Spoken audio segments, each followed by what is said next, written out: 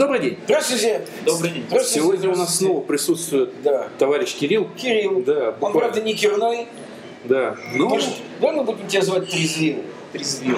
Трезвил. Можно Ты будешь как римский подотрицей. да. Ты трезвил. Можно, можно. Я не против. Не соплебей, а подотрицей. Мы причем Да. сегодня мы все трое иммигранты.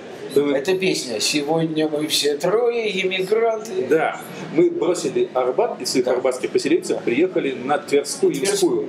Да, вот нас, собственно, пригласил Кирилл, потому что он сказал, что у него есть, он послушал, э, он давно у нас не был, он не был у нас год, собственно говоря, он последний раз присутствовал в наших подкастах год назад, в марте 2010 и прослушав нашу тему про интеллигенцию, он очень возбудился, сказал, что, да, сказал, что тема сисек, ой, интеллигенции не раскрыта, вот. Сисик тоже, кстати. Да, и поэтому он набросал какие-то свои темы, даже не одну, а, по-моему, штук 10. их. Может, объединим, раскроем тему сисек интеллигенции? Да, и интеллигенция с сиськами. вопрос. Мне кажется, мне кажется, надо непосредственно еще будет визуал проводить. Да, да, да, да. И главное интеллигенцию с сиськами не забывать. Ой. Вот, Да. Какое счастье. Да, Ну мы- так что, Кирилл? Да, Что что, сюда вызвал? что будут за темы, собственно говоря? Ну, на самом деле, отчасти продолжение той темы, которую в последний, момент, в последний раз обсуждали, это проблема давно, соответственно, поставлена, это проблема российской интеллигенции. Вот. Она Но- еще что, жива? Мне кажется, с ней Она- быть все вопросы да, вообще. она существует. Да. Еще, если она в умах существует, то значит проблема еще жива. Вот. А конкретнее, если говорить, то а, я хотел поднять следующий вопрос. А, о российской интеллигенции и ее роли, ее разрушительной роли в истории. Какая такая роль? Он прав. Ну, видите, Хейфиц прав. Нет, Хефиц не может быть неправ по сути своей. Ну, Это знают все. Да, Да. да, да, да. Не, ну здесь как раз есть как раз несколько таких интересных подтем, которые я предлагаю обсудить. Во-первых, в моем понимании а, российская интеллигенция, как она формировалась, а, а, это такая часть а, формирующейся еще а, буржуазии, которая а, за счет того, что не была допущена к власти в свое время, еще во время Российской империи, а, начала проявлять различные центробежные тенденции, а, которые, в частности, проявлялись а, в различном стремлении к, ну, естественно, стремлении к демократическим институтам. О, Господи. Нас половина зрителей не поймет. Поймут, Нет, поймут. я... Ну, хорошо, Ну, нет, они хотели введение Конституции и так далее, все понятно, Да. все мы знаем и так далее. В чем это кончилось э, в начале 20 века, мы тоже знаем. Вот, так вот я хотел бы понять, э, почему же э, в российской интеллигенции, обсудить, понять, э, почему же в российской интеллигенции сочетаются такие странные функции, скажем так, функции разрушительные, потому что ведь в конце, в конце 20 века она сыграла такую же роль. Постоянная Это функция разрушения, но при этом, что интересно, как только приходит новая власть, интеллигенция почему-то постоянно устраняется от управления. Ты кого называешь интеллигенцией вообще? Да. Я не понимаю. Мы же обсуждали в прошлый раз, кто такие интеллигенты. Говно нации. Нет, ну это само собой. Нет, Надо с самого начала начинать. Подожди сюда. Ты, ты кого? Мне кажется, ты, э, когда говоришь интеллигенция, ты сразу имеешь в виду... Конкретных людей. Да, нет, нет, там, значит, ты что-то сказал там, значит, к управлению государством. Ты имеешь в виду некий, что ли, социальный слой? Когда ты говоришь, что интеллигенция, что? Так какая же это интеллигенция? Ты Слово путаешь. это. Не, подожди, ты путаешь, ты путаешь, на мой взгляд, интеллигента и то, что называется буржуа или средний класс. Вот об этом я как раз Так это сказал. не одно и то же, Кирилл. Нет, нет, нет, здесь есть один маленький нюанс. В России существовала и интеллигенция, и а, развивающаяся буржуазия Ну. в тот момент Российской империи. Но это были две разные прослойки. Они остались двумя разными прослойками. Для меня первый российский интеллигенция существует, существует, в единичном представительстве, как всегда и везде. Для меня интеллигент первый русский – это юродивый. Я тебе скажу, что такое интеллигент для меня, я уже говорил, еще раз скажу. Это человек, в личности которого органично соединены высокий творческий потенциал и высокий потенциал нравственный. Отлично. Ленин разве не был таким человеком? Абсолютно нет. Ленин совершенно безнравственный человек. Изначально? Абсолютно кажется, изначально. изначально был исключительно Ничего подобного. Он рожден был моральным уродом, и об этом есть свидетельство его старшего повешенного брата, который его терпеть не мог. Может, поэтому и повесился? Не знаю почему. Нет, он же не сам Я повесился. Совестный. Это не- стыда совести. Поэтому Ленин- Откуда у меня совесть? Ленин абсолютно безнравственный человек. Совершенно. Поэтому я еще раз тебе говорю, это разные вещи. Интеллигенция русская к управлению государством допущена быть не может. Отчасти потому, что основная масса интеллигентных людей, она вообще не имеет никакого отношения к какому-то допуску к власти. Нет. А, то есть они могут подсказывать, они могут разрушать, участвовать в разрушении, но при этом потом а, что-то строить они уже не могут. Почему не? Нет, они могут, но, как правило, интеллигентные люди в России, во всяком да. случае, властью к власти не допускаются. Не, не, потому стоп, что... Смотрите, они разрушают предыдущий институт власти, а при этом потом уже формируют новую власть. Почему же они не допускаются к этой власти? Смотри, потом как, я, я тебе скажу, власти. Кирилл, скажу, как я это понимаю. Как я это понимаю, я могу ошибаться, но, на мой взгляд, перед интеллигентным человеком не стоит задача разрушения или созидания. Интеллигентный человек делает две вещи в жизни. Он реализует талант, данный ему Богом, и поступает свободно, то есть по совести. Юрий, я с вами согласен, но я говорю а не мы, о том, А мы на вы? Подожди, подожди, подожди, мы с тобой на вы? Нет, на ты. Не знаю, что ты тогда? Он, он интеллигентный а я человек. что меня много. Я, я всеми. Да. Ладно, окей. Да. А, нет, просто ты говоришь о том, что да. а, стоит задача, а я говорю о том, как было в истории. И, к сожалению, задачи могли стать для интеллигенции разными, но функцию мы с тобой о разных, о, разных, о разных вещах мы с тобой говорим. Ты считаешь, что в российской истории существовал и действовал некий класс интеллигентов. Правильно я тебя понимаю? Ну, прослойка. Прослойка. Ты считаешь, да? Вот так вот было? Ты ну, считаешь? Она была всегда разной. Ее никогда не было. Я еще раз тебе хочу сказать, что ну, это не интеллигенты, это образованцы, это культурные люди. Не это все кто угодно. Интеллигент это Дмитрий Лихачев. Где ты видел, когда в России прослойку Лихачевых? Где, а, где и когда? Мне кажется, их в мире нигде вообще нет. Это я не знаю. Я в другом мире не жил. Стоп, стоп, стоп, стоп. Я... Тебе кажется, что там не жил. Но я могу допустить, что в мире их нет нигде. Но для меня, понимаете, вот, ребят, вот смотрите, Воп- э, э, я, я обожаю постановку вопроса, свойственную Мирабу Константиновичу Мамардашвили. Он говорил, любой вопрос, любая проблема должна быть доведена до абсурда, до крайнего состояния, до границы. Только тогда, когда какой-то вопрос стоит на грани бытия и небытия, в нем можно что-то разглядеть. Да. Понимаешь, да? Вот. Я довожу по его методике слово интеллигенция до границы бытия. И при этом уходите от его определения. Его, нет, наоборот, я даю определение. Интеллигент в его единственно возможном для меня представительстве это, это человек, сопрягающий высокий творческий потенциал с высоким потенциалом нравственным. В этом смысле говорю я. Хорошо, а можно говорить слово не интеллигент, а интеллигенты. Нельзя. То есть нет и, такого нет, слова. Подожди. Вообще. Нет, слово есть. Просто они не могут быть в России, во всяком случае, они никогда не были представлены в массовом порядке. Хорошо, где они тогда были представлены? Интеллигенция. Он не знаю, не, жил. не знаю. Может быть, в Америке. Я не знаю.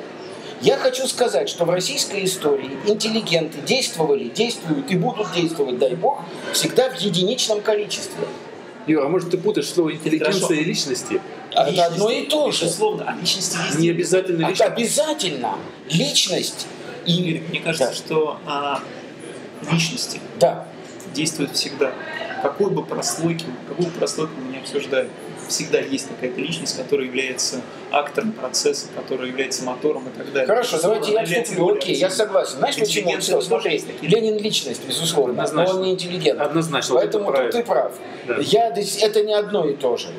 Личность может быть со знаком минус. Я, я тут Личность соглашусь. может быть интеллигентом, а да. может быть и не быть. Поэтому да, давайте примиримся вот на чем. Давай вот тогда ты скажешь. Они не были интеллигентами и так далее. Люди, которые Нет. шли в народ, а, Смотри, давай, давай мы так, смотри, если ты принимаешь мое определение личности, что это вот... Я... Ой, не личности, интеллигента, что это личность... Да, да, понимаю. Но, но Тогда... я, я не могу понять, есть ли интеллигенты? Есть, но они не представляют собой прослойку, их очень мало. Сейчас? Вообще согласен. всегда. Тогда согласен. Нет, мне кажется, ну, хорошо. 19 век, начало 20 века. Но это тебе простой. кажется, потому что ты смотришь отсюда туда, школьный курс Герцена. Не ты их всех там, Герцена, Горев, Чернышевский, Добролюбов, и тебе кажется, что их было много. И главное, я хочу сказать да. о том, что а, говоря о разрушающей функции интеллигенции, я возвращаюсь к тому, что я изначально сказал, я не говорю, что это плохо. что Да. важно. Я говорю, что, вот, к сожалению, история... Что показала, иногда она нужна эта разрушающая, да? И более того, действительно, она иногда, возможно, и нужна. Я, я, я, я не согласен с тем, что у интеллигенции есть некая функция, э, так сказать, разрушающая или созидательная. Э, так сказать, средний класс, да, культурные образованные люди, такая прослойка есть.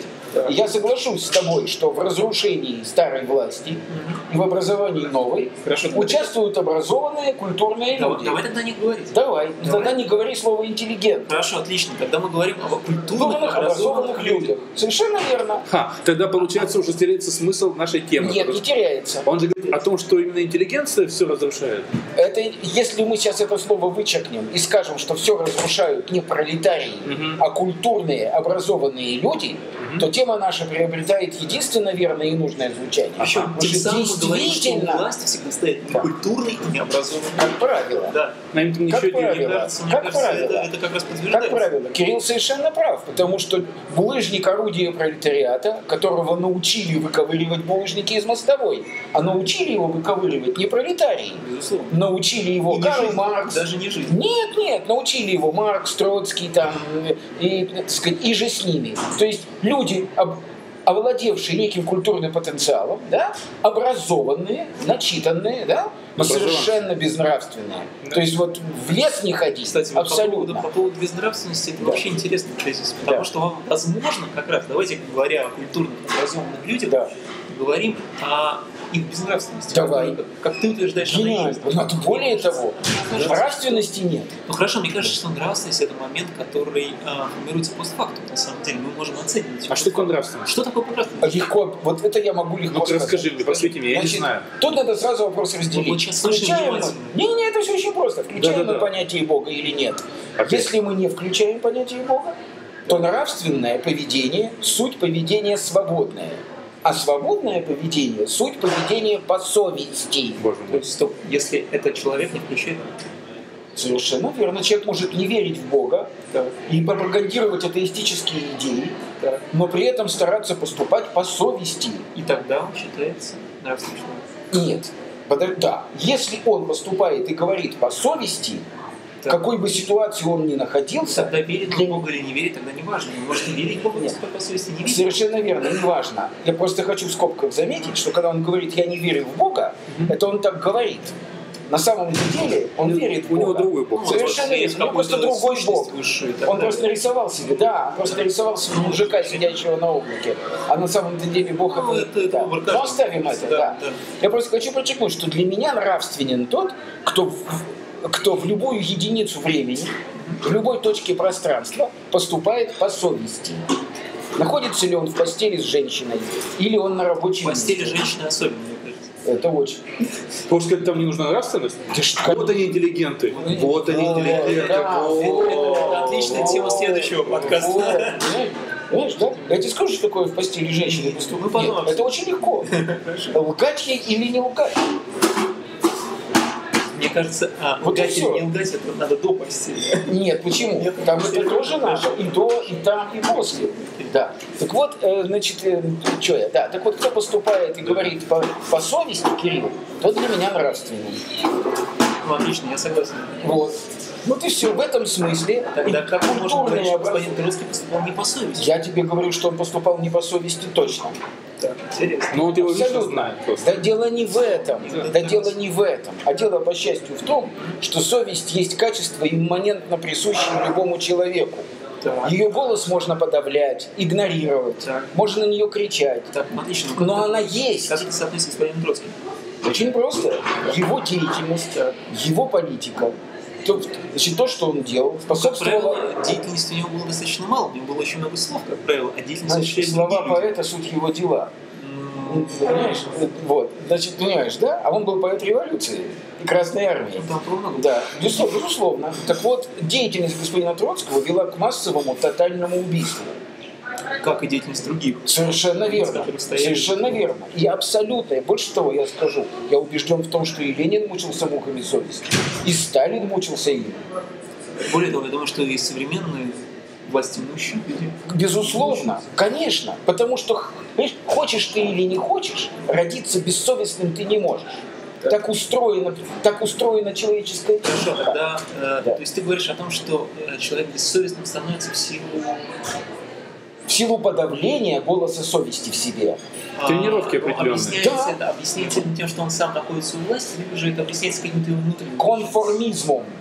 Это объясняется тем, что человек видит перед собой зримую выгоду. Троцкого, я думаю, что сложно было назвать конформистом. Нет, даже я- был конформист я бы сказал, потому- ради власти. Я думаю, что нет. Он Ну. никогда не был конформистом. Он не был и до того, как он был Кирилл, ради власти, ради власти над миллионами людей, этот человек, гиперкомпенсируя свое местечковое ничтожество и свою черту оседлости, не только свою, а всех, так сказать, поколений, да, гиперкомпенсируя это, он пошел на сделку, он подавил себе голос совести ради той выгоды, которая перед ним маячила. И это конформизм чистой воды. И более того, все эти товарищи, которые учили в гимназии закон Божий, а кого-то, а кого-то успели в синагоге научить каким-то каким основам Торы, да? все эти товарищи убили в себе голос совести. Хорошо, но мне кажется, что я... Извини, что я А, ради бога. Извини. Да ничего страшного. А, мне кажется, что Троцкий-то, собственно говоря, никогда и не хвастался своей совестью. Кирилл, Совесть. они никто... Но, что важно, а были и люди искусства, люди культуры, люди писатели, которые этим всегда хвастались, Безусловно. пошли и стали Это смотри, же. Кирилл, мне кажется, что они Кирилл, родной, можно хвастаться, можно не хвастаться. Это, знаешь, это вопрос еще кроме совести и культуры. То есть человек культурный, культурный, кажется, скажем так, исключительно совести. Нет, нет, смотри, человек культурный, он не хвастается такими вещами. Он не рассказывает там, сколько у него было женщин. Знаешь? Ну, в общем, да, Знаешь, да? Да. Нет, нет, мы не уходим, это все тоже. Он не хвастается своими победами над своей совестью. Он это держит в секрете, понимая, слово «понимая» я беру в кавычки, что это стыдный акт. А человек не культурный, он этого не понимает. Вот я человек некультурный. Я всем всегда говорю, что я сволочь. Ну, это совсем из другой оперы, Андрей, всем оставим говорит, на самом Да, деле, да, очень это все, это, это называется, как же она? Это так и называется? Нет, нет, забыл эту фразу из, ну, ну, ну не важно. Короче, короче, да, короче, это та гордыня, которая паче скромности. Это однозначно гордыня. тут- вот, да, вот. Так вот я что хочу. Да, значит, значит, возвращаясь. Э, Безусловно, образованные культурные люди виноваты в кавычках во всех социальных потрясениях. Ибо это они провоцируют их, ибо это они в кавычках учат массы какому-то поведению, они в кавычках организуют тот идейный массив, который зажигает вот эту толпу. Все эти красивые слова, э, вперед проклятием заклейменным, да, вставай, вставай, родная Русь, да, все эти красивые слова не рождаются в массе. А, вопрос, да. Почему именно в нашей стране эти люди доводят эту степень разрушения Да. абсолютно? Нет, почему? Почему а Великая Французская революция, Кирилл, Хорошо, она у них была одна. это, э, это, да, но, это да, но Франция меньше России просто. А, то есть, Ну, это-. А, это, это, это, значение, как Имеет говорят. значение, безусловно. Потому что, потому что, нет, нет, потому что У нас все нормально, мы не высота, уходим после никуда. да, высота цунами, высота прямо связана с его разрушительной силой. Понимаешь, да? Вот. Это во всем мире так было, я тебе уверяю. Вот, Просто- кстати, вот чуть-чуть Да. не- небольшой вот, э, экскурс, ну, не экскурс, конечно, а бикар такой назад, э, про Троцкого. Вот Юра тоже говорил, я считаю, что есть вообще определенная такая традиция, она, наверное, не столько, мы уже говорим про интеллигенцию, когда человек хочет добиться какой-то цели, он даже идет на специальные курсы, где специально тренирует себе убийство определенной, ну, совести, еще какие-то. Этих даже очень много. Этих курсов очень много. Я не буду- это коучинг. Эти, курсы считают жизнь. Нет, нет, здесь, коу, здесь этот коучинг. есть. Да нет, все что угодно. Сейчас, может быть, и есть, но так Есть, а тогда да, а тогда Нет, жизнь. это да. Потому что а есть, есть в Америке определенная даже профессия людей, которые считаются просто высоким классом э, сейлоров, да, то есть их, их все не любят, но с другой стороны все понимают, что этот человек продаст все, да, их называют там канадцами. Здесь, да. Я не знаю, как в России их называют, это те, которые стучатся в любую дверь и предлагают тебе что-то купить. Наверное, потому что они по канату. Их не, не предлагают. Канадцы на слово Канада. Просто А. это повелось, потому что когда-то там были сильно канадцев нанимался, это, это просто история. Да, там называют это так. То есть этих людей невозможно оскорбить, этих людей невозможно послать, от них невозможно отделаться. Вот, потому что они проходят жесточайший курс убийства в себе определенных вот этих качеств, о которых сейчас говоришь. Вот, то, о чем мы сейчас говорим, вот Юра был абсолютно прав. Любой человек, который достигает, хочет достичь определенной цели, будь то власть, будь то еще что-то такое, он принципиально готовится к этому, убивая, подавляя в себе определенные качества. Это даже, ну, говорю, что э, целенаправленно, заранее осознанный шаг. Ну, фильм «Конформист». Вы знаете, Фильм да, отличный фильм. А, я хотел бы сказать, э, ну, какие-то итоги, что обсуждая тему интеллигенции, где бы то ни было, Культурных образованных и людей. культурных образованных людей, почему-то эта тема никогда никем не раскрывается. Ну, Я что мы объясню, эту почему. передачу Да, я тебе объясню, почему. утвердили. Я тебе объясню, почему. Мне Вообще, вообще, скажи мне, а что людям рассказывается, объясняется и раскрывается? Вообще ничего никто толком людям не рассказывает и не Но объясняет. иногда у людей существует э, предположение, что им все это объяснили, рассказали. Потому что телевизор работает. В этом случае, Потому что телевизор случае, в работает. этом случае нам этого не удалось. Это все... Я не Нет, говорю, что это мы не для этого работаем. Да? Мы работаем на себя. Мы сами себе пытаемся Мы что-то себе объяснить. объясняем. При этом, при этом они нас бедные слушают. А это их проблема, могут не слушать. Они могут отключить. Никто не заставляет. Да, кстати, вот великое изобретение Да, телевизора, есть интернет кнопка. всегда можно выключить. Конечно. Понимаешь, работает телевизор всегда, и там идет псевдо, квази-пропаганда. Квази. То есть тебе как бы рассказывают, как надо ставить клизму, как бы, тебе показывают, как надо ставить. На самом деле тебе не рассказывают самое главное. Во-первых, тебе не рассказывают, что без нее можно обойтись. Тебе никогда не объясняют истинные причины того, что с тобой происходит. И самое главное, тебе никогда не расскажут, что с тобой делают в тот момент, пока ты смотришь телевизор. Тебе ставят клизму. заднепроходное затылочное отверстие. Среднее ухо. в фильме «Матрица», в самом первом фильме «Матрица», там второй, второй фильм, там «Революция» или не «Революция», там вот эти вот, второй, третий фильм, это уже была... Там за Зион я смеялся страшно. Но в первом фильме «Матрица» был потрясающий момент.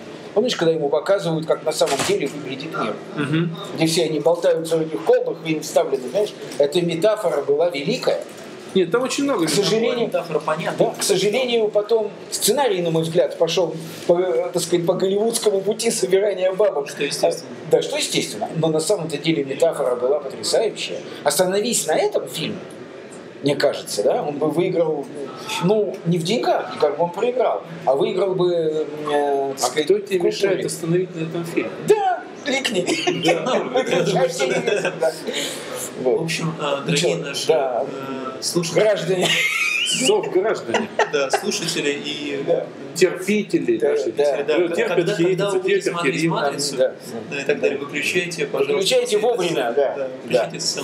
А что касается слушателей, не слушать эту передачу, и смотрителей, не смотреть, Они уже сами. слушают, куда деваться. Вольному воля, бедному Несмотря на то, что мы тему не раскрываем Да. всегда, и сейчас нам это не удалось, но тем не менее мы стараемся.